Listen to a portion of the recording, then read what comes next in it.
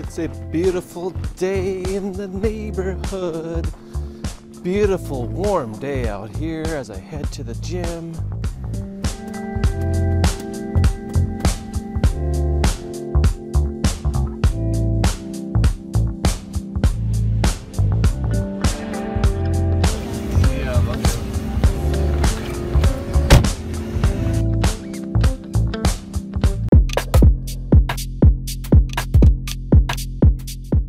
Trying to hold the camera and my coffee in my gym bag, and it's freezing out and trying to get into the house. But it's Friday. Doesn't it look nice out?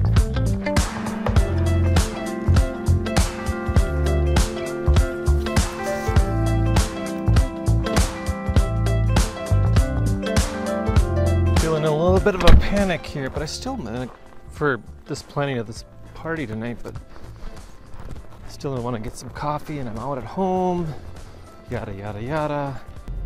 So here's another shot of me just driving around and I got nothing really to say, even though it's, like a, all blown out. But the lighting is good, so we're just gonna pretend like I have something to say. And really all I'm doing is going to get coffee. We already talked about the weather today. Um, I don't know if we covered the bathroom, but we'll just skip that one today. We'll cover that tomorrow since I'm going to be working on it. I'm all white. Stop. Stop. Celebrate and listen. Greg is back with a new Friday edition with the vlog. How many people have that song, the lyrics memorized? Raise your hand if you're one of them. Raise your hand. He's gonna quote another commercial from probably the 80s. I might show my age a little bit, but do you know which one I'm talking about? Why am I all blown out? Hi! Raise your hand if you're sure. What's wrong with me today?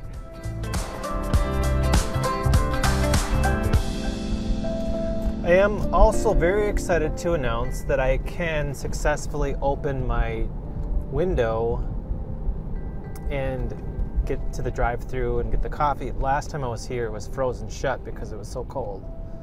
Small little momentum in the right direction, even though it's 12 degrees Fahrenheit. The weekend has officially begun. Heading over, and a few of us are going to hang out and celebrate a little bit tonight.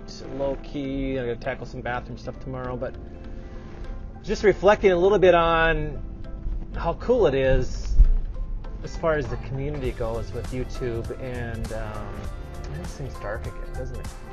It's really weird. Sorry about the technical issues here, but just regarding the people that I meet along this journey. Uh, today I was just chatting with Jarrod in South Africa. Jarrod, if you end up watching this one, uh, a lot of similarities. I'm looking forward to all the stuff that you're pumping out, uh, catching up with some of your videos. And you mentioned a podcast, and I think you live in like Johannesburg or something. Yeah, I mean that's an area that's top of my list. I have a lot of things on my travel list, and I'm accomplishing a lot of them, but it's just so cool to me because we start these journeys producing content and with one goal in mind, and a lot of things change and a lot of things come at us in areas that we would never have expected. So that's just continuing to do this. The same lesson for me is is I expect here, expect here, expect here, and then I get all this other stuff, which is probably a lot more in a different way, and um, maybe a little of this. So pretty cool stuff.